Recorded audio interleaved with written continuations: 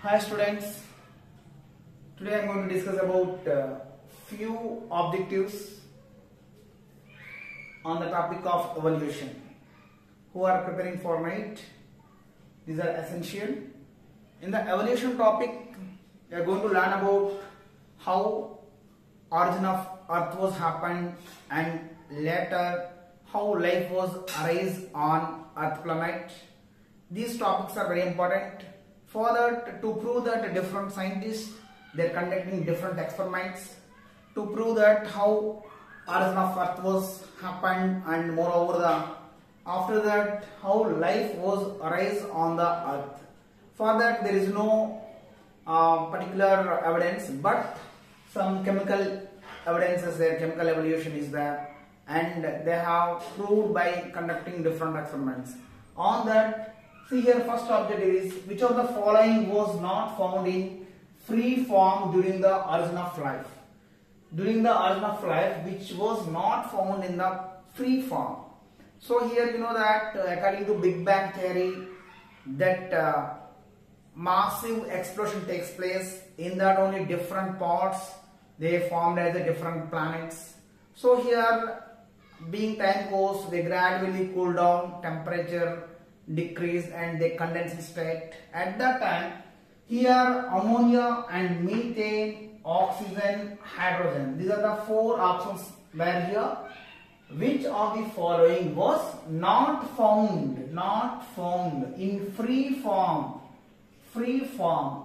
You know that? That Miller experiment also Miller used in the condenser here. Ammonia and methane and hydrogen. So here oxygen not available it was not available in the free form. After foil what you call UV rays split the H2O into hydrogen and oxygen. Then only oxygen is available in the free form. That's the reason this should be the answer. Not found in free form during the origin of life ammonia should be there it was there methane was there and hydrogen was there. But this should not be in the free form. After splitting of hydrogen molecule water molecule then oxygen was formed. So that's the third one is the option right. We'll go for the next one. Stanley miller synthesized in his experiment.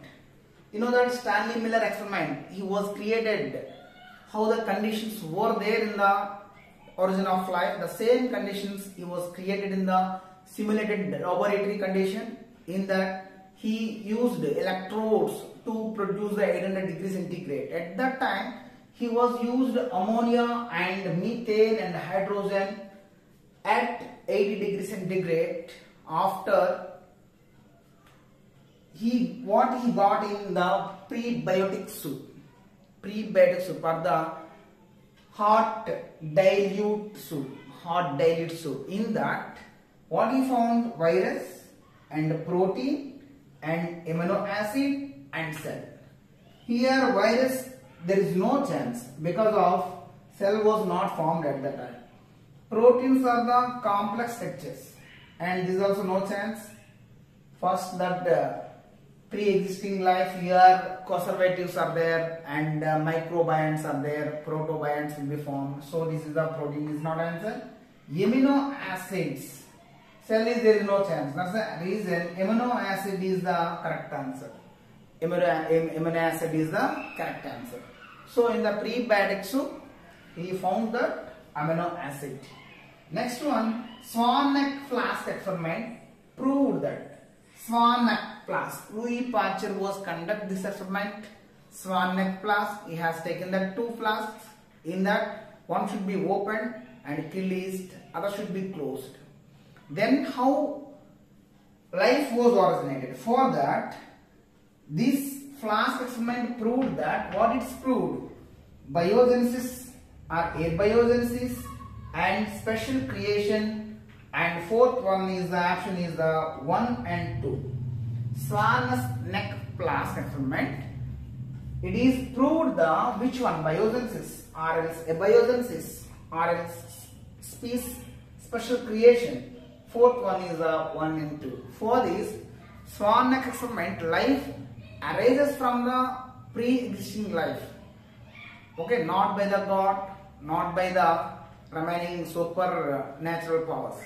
So here, special creation is the wrong answer. Abiogenesis. Abiogenesis for life exists or arises from the abiogenesis, from the abiogenesis form, abiotic form. Here biogenesis, biogenesis in the air, what is there? The microbes are there, you know, they will interact with the yeast and produce the new forms. So that's the reason is i proves the biogenesis theory. It proves the biogenesis theory and it disproves the abiogenesis theory. If they ask, disproves the biogenesis theory and proves the biogenesis theory. Right? Thank you.